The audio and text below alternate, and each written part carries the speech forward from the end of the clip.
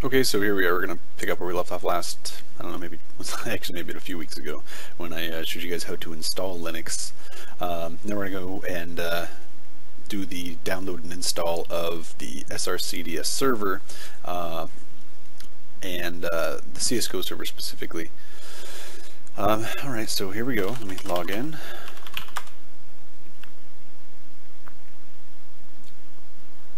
Alright, again, this is the interface of a fresh out of the box um, GNOME Ubuntu install. Um, desktop, this little bar up here is actually just because again I'm running from within a virtual machine. Um, it does come with all kinds of programs that you might expect in any other operating system, file browser, um, chat, email, and uh, web browser. But again, you will be living out of the terminal by default. That terminal is not in there. I have added it. So what I will do um, if you're just right here, you should go up to the search bar, type in terminal, grab it. You can drag it over here to your, uh, right click and add to your favorites, or you can drag it over to your favorites. Let's go ahead and launch. Okay, so here is the terminal. And this is, for all intents and purposes, your new home. Let's go ahead and make this uh, little bigger and easier to read for you. Okay, there we go. So now here we are in our terminal, your new home for managing your file or your uh, Counter-Strike Go server. Okay, so uh, first things first. A lot of people um, feel like they have to do every install and run everything as a root user. You do not need to do that. Um, you will need root level access um, in general uh, to because we're gonna have to install some dependencies if they're not already um, on your particular distribution. Um, this is basically just so that we can compile and run uh, the uh, the game or the game server itself, um, or at least you know SRCDS manages all that. You don't do any of that stuff manually, but the nevertheless the uh, dependencies need to be there. Um, so before we go any further from whatever uh, your administrator account is, you do sudo apt-get. Actually, let me take a step back.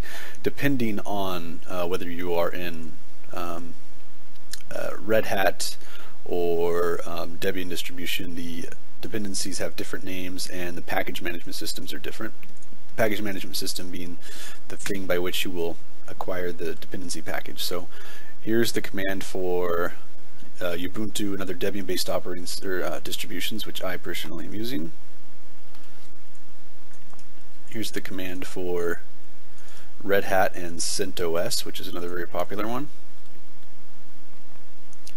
And next is for the 64-bit version of Red Hat CentOS. Okay, so again, this is going to be installed on um,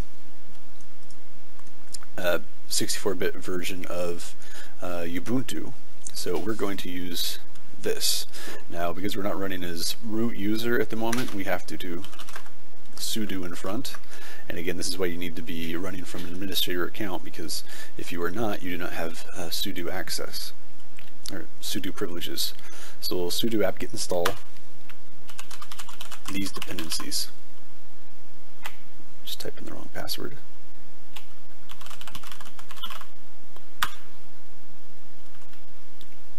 Okay, so I already have them installed, but this is what you would have needed to do to get them installed if you didn't. Um, so dependencies there now, you can worry about you know who you are logged in as and all of that stuff. So by default on this virtual machine, if I type in who am I, it shows that I'm username Steam already. That's the only that's my administrator user. That's everything. Um, but for a lot of people, they you know maybe under the username John or Jim or whatever, just some other random username. Uh, I would recommend not installing SRCDS uh, and the CSGO server as a root user uh, in fact, Steam recommends, and um, I recommend making your own username Steam if you don't have one already. Now when you do that through the command line, there's two ways you can go about it. You can either add user, or you can user add. Okay, now what's the difference here? So one of them is a friendly front-end interface that allows you to create a home directory and do all these things. Uh, one of them is not. If you forget which is which, then you can very easily look at the Linux man pages. So you type in man, add user, and what does this say?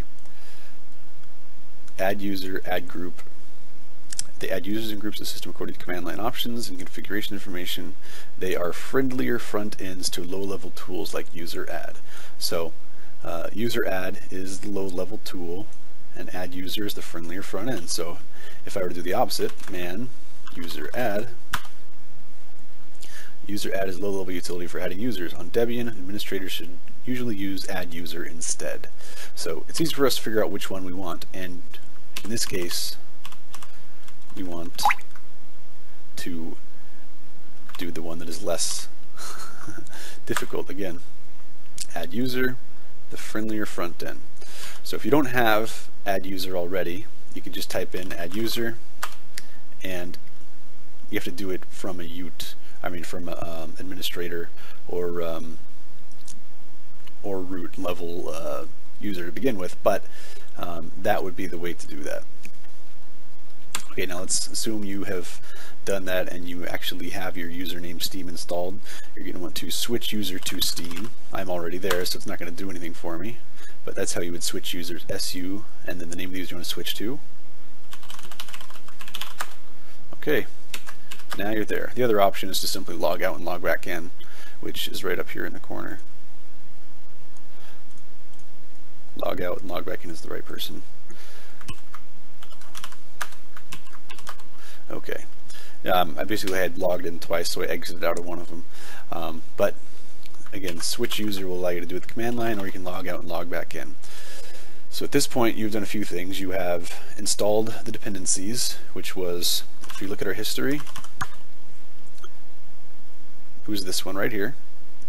sudo apt-get install lib32 gcc1.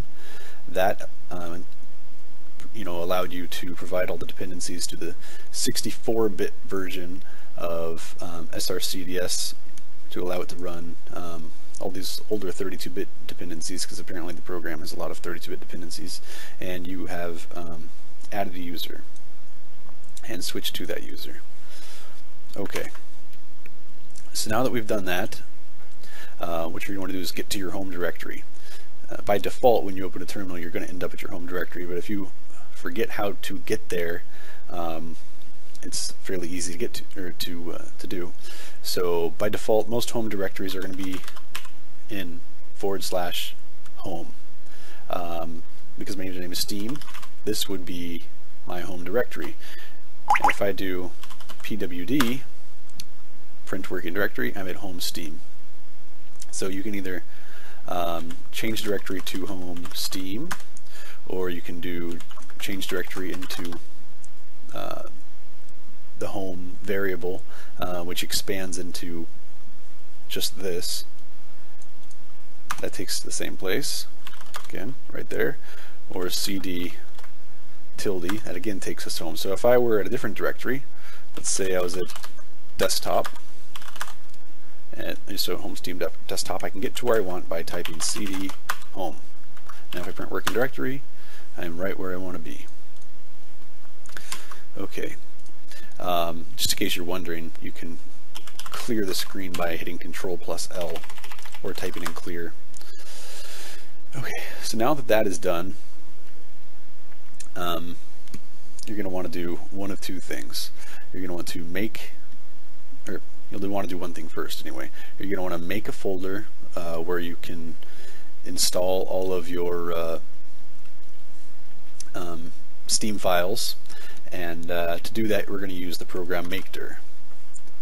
Now because I've actually done this once before I'm going to actually remove uh, the existing Steam CMD folder that I have made earlier. Okay, so if I look, there is no Steam CMD. I'm starting over from scratch. So I'm going to make dir Steam CMD now we are here where we want to be. Print working directory, here, home Steam, Steam, CMD. So now that we're there, what we want to do is we want to get the install files. Um, to do that, you're going to use this command, wget program, and this file right there. So it's going to download that file. Alright, I know 10.5 megs a second, you're jealous. Megabytes too. Um, actually peak higher than that, like 18 megabytes a second. Um, so we have downloaded the, the uh, file we want. If we type ls, we list the contents of this directory. You see, it's right there. Um, this is coming in what you would call like a tarball form. Um, and it's similar to a zip file. So to unzip it, you will enter this command tar dash xvzf. I honestly don't remember exactly what all of these commands are for. Extract, verbose, so it's going to tell you what it's doing. I don't remember the Z and the F are for. But um, tar dash xvzf. Now, if you want to uh, see what the commands are, or, or, what those options are, then you can very easily type in man uh, tar. And if you look down, you know, they're all listed here. Okay, so F for file. Yep, all right here. So just if you want to satisfy your curiosity at this moment, I am not too too concerned about that. Okay, so let's get back to where we were. tar xvzf, steam cmd. If you know where that beeping is, it's whenever there's an error, it makes a beeping noise if you have partially written out a, um, a file name, you can hit tab to autocomplete. And if I didn't, in that case, I didn't have the, uh, the name spelled correctly, so it gave me an error noise. Okay, so it went ahead and extracted everything. Now I have these four files. I have a folder that was just created, two files that were just extracted, which are um, script files, and then I have this tarball file which I no longer need anymore so I can remove it actually.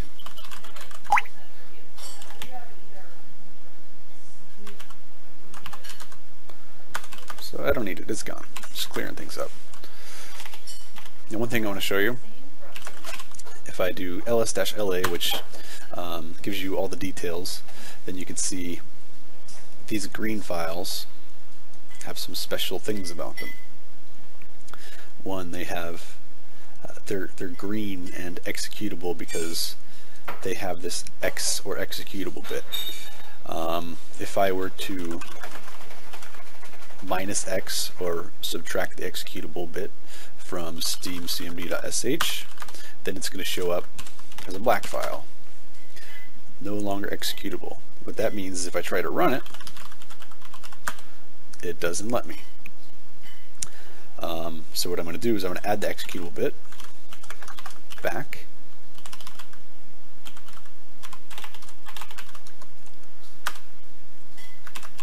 Okay, now that's important because for some people, after they extract the file, it may lose its um, executable bit and you have to put it back on in order for you to run Steam CMD. Um, now, another thing you're going to need to do is uh, you're going to have to define a location for your Counter-Strike Go dedicated server files. So, um, and this will be important for when you actually finally launch Steam CMD. So what I'm going to do from here, from this directory, I'm going to add an additional couple of directories. So make dir game server files. Um, I just kind of assume that at some point you may have more than one server. If I change directories into game server files, I'll make another directory for CSGO DS. Oh, I misspelled that. So I will rename it. Use the mv command to do that, to rename. Okay, so that's, that's right. Now, importantly, we're going to need this, um, we're going to need the full path to CSGO DS. So if I change directory into CSGO DS and I do print working directory, I get the full path. So I'm going to copy and paste, copy this because I'll need to paste it later. Okay, so now let's go back, back again. Now we're at the Steam CMD directory where if you look at the files, here's steam cmd.sh. That's the file you're going to run to do all of your setup. So we'll do steam cmd.sh.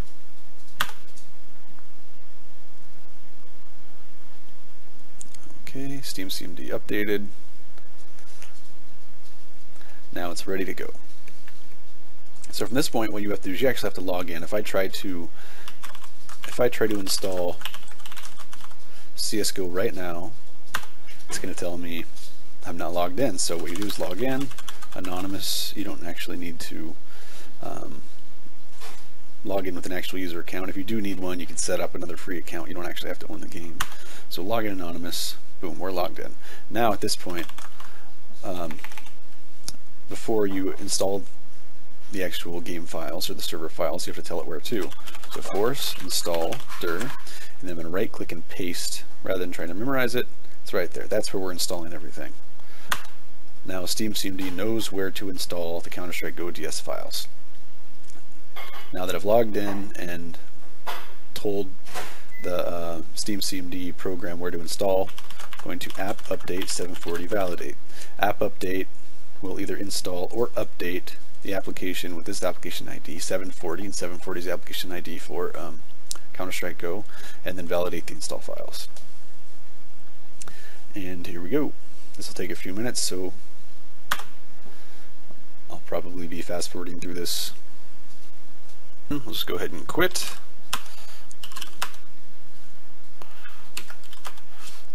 Just kind of get ourselves reoriented.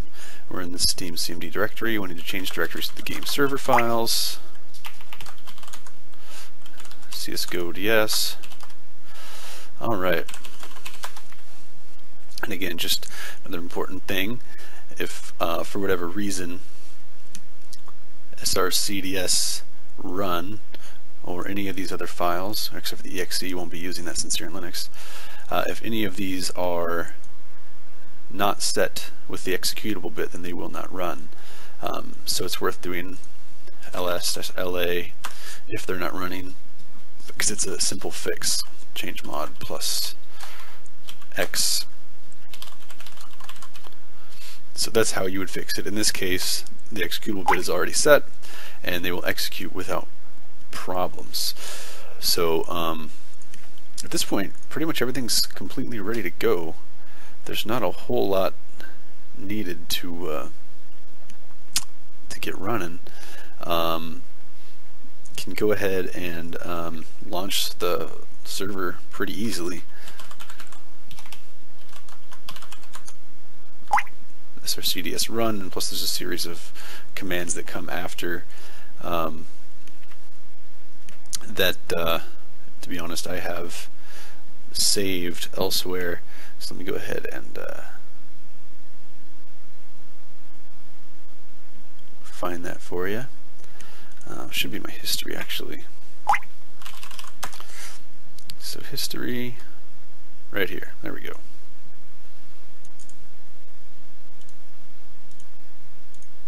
So I can copy and paste it, or I could do 52, and it comes back up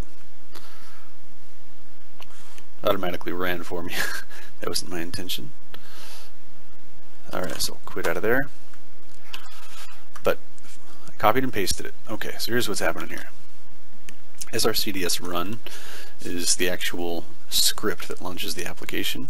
Um, the dot forward slash in front just means that you're looking for an application inside of the current working directory. You either have to have that or you have to spell out the entire working directory in front of srcds run in order to run it.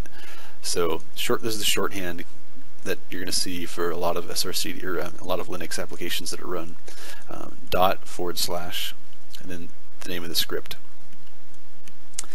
Um, and the rest of this, these are kind of the basics, um, the basic options that you add on um, or provide to the srcds run um, script this just tells you the game CSGO. It's going to enable the console, um, game type 0, game mode 1. Basically, um, just tells us that we're going to use the, uh, the competitive classic mode. Um, we specified the map group from which to draw the maps and the default map to start out on. If I, were to, if I were to run this,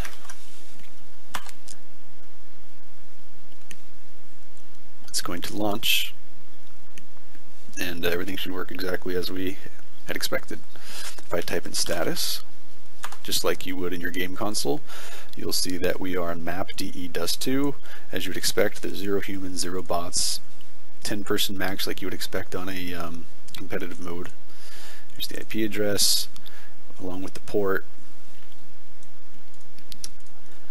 There you go. That that is the basics to get things running. Um, now, just one last little useful bit of information um, because it's a little bit of a pain in the butt to type this in every time and you're not going to want to do it. You'll probably want to create a script. Uh, what is a script? If I were to show you the contents of srcds run, oops, don't need to do that.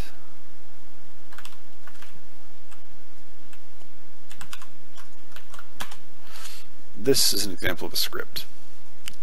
Okay, this is a more advanced script. You're not going to be doing anything like this, but we will make a very simple script. First, let's create a file called easyrun.sh. If you see, there's easyrun.sh. Alright, now let's edit easyrun.sh. Actually, before I do that, let me copy and paste this whole thing because I'm going to be reusing this. So I'm going to copy. Okay, I'm to have to paste that later. So we can edit easyrun.shmy. The easiest way to do it would be to use uh, Nano. It's an easy to use or text editor. So nano easyrun.sh, open it up. You'll paste that in there.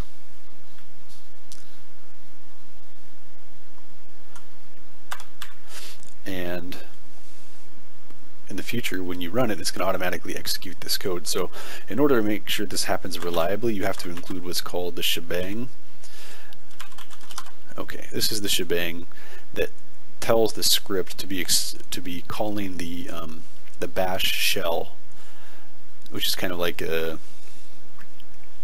I don't know, it's how the user interacts with the command line. There's a few other shells that are similar to it, but bash is the most uh, common one again, the stuff I was doing, all that ls, cd, pwd, all those things are part of the bash or, um, programs that are invoked by the bash shell. Um, and then there's a few other features. It kind of works almost like a little mini programming language and you start to, and it is a little mini programming language once you start to learn some of the more advanced features. But anyway, long story short, this is the shebang you need to include at the top of the file. Um, so after you put in the shebang, you can add this meaning that you can modify this as you, you see fit, add your RCON information, add your port, all these other things which we'll get into later. Um, and you never have to type this in again. So let's write it out, Control O. Let's, yes, let's go ahead and save the file name, easyrun.sh. Now we can exit, Control X. Alright, now again, if I try to easy run,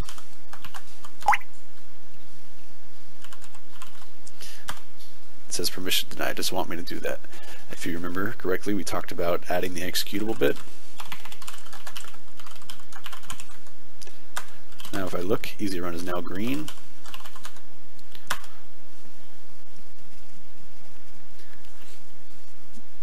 And it'll load automatically. It's a very simple script. If you see, again, DE dust defaults to port 27015 which by chance you will have to uh, both open the firewall locally on the computer uh, and on your firewall or your router of your router but that's a different tutorial. Okay. There you go. So that's the basics get everything running including creating a nice little simple script to launch your server